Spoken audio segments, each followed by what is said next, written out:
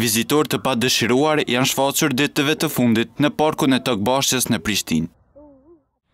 Këta gjarpërinj helmues janë parë në këtë pjesë të qytetit. E kjo po i shqetëson qytetarët që jetojnë në këtë anë e shëtisin në këtë hapësirë.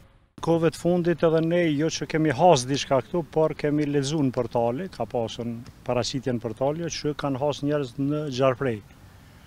Ne s'kemi pa, po vërtet frigohemi pak se kemi edhe fmi, por unë s'kam pa diçka të. Kom vrejt edhe në video e kom pa që ka qenë qaty. Sa po një një të riziko? Unë për vete nuk kam problem, po fmija normalisht që i kur dalin, më mendojë se, ka që kisha me thonë.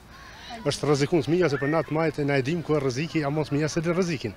Sinqerisht fëmijët luajnë shumë shpesh dhe i kemi lënë shumë të lirë, po tashmë siç u informova vetë se paska dhe gjarpinj, nuk e di a do të dalim mo. Në anën tjetër, Arian Mavriqi, njohës i botës së egër, nuk sheh rrezik të madh nga këta gjarpërinj.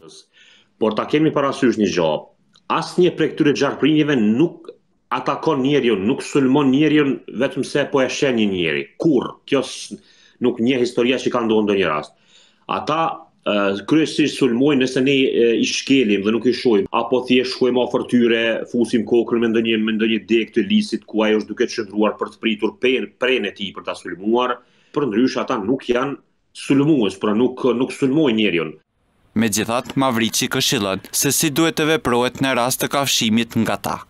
Në është shumë me rëndësi për njeriun nëse të kafshon atëherë mos të humbë kontrollin, mos të krijojë panik, sepse dhe ashtu në momentin e kafshimit, domethënë njeriun, njeriu të jep aritmi më të madhe, plus nëse ia shton frikën atëherë mund ta imagjinoni çka mund ndodhë me, me, me njeriun. Njerëz të cilët janë kompetent për të shëruar këta këta njerëz të kafshuar nëse veç ndodhin atëherë janë janë mjekët tanë, janë infermieret tona të cilët do të vijnë në vendin e ngjarjes sa më shpejt që të jetë e mundur.